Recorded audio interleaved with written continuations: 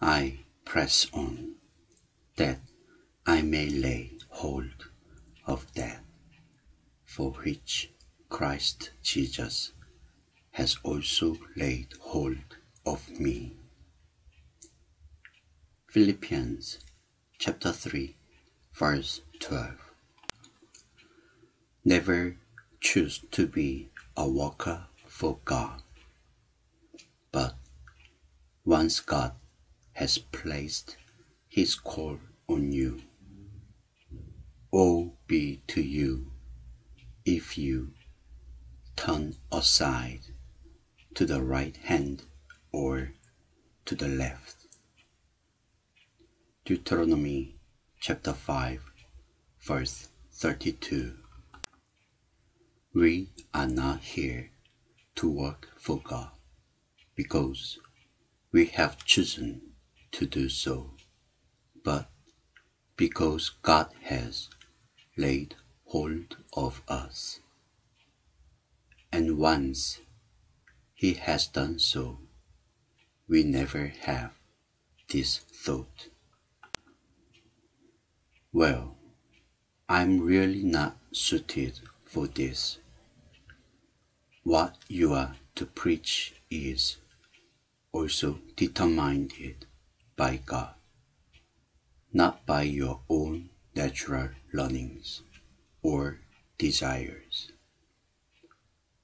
Keep your soul steadfastly related to God and remember that you are called not simply to convey your testimony, but also to preach the gospel.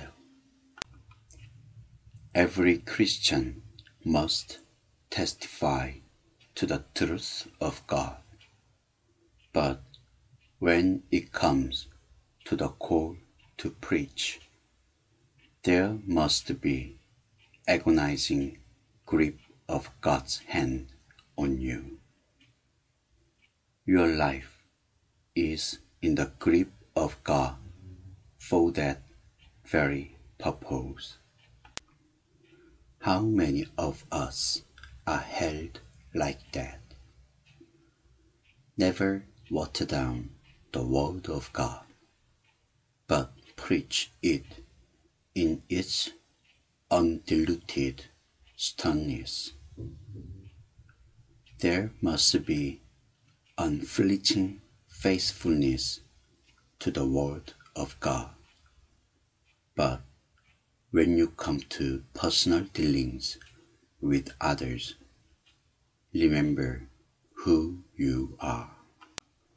You are not some special being created in heaven, but a sinner saved by grace. Brethren, I do not count myself to have apprehended.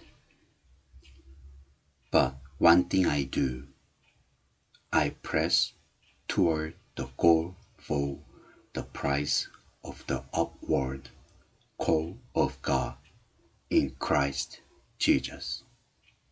Philippians chapter 3, verse 13 and 14.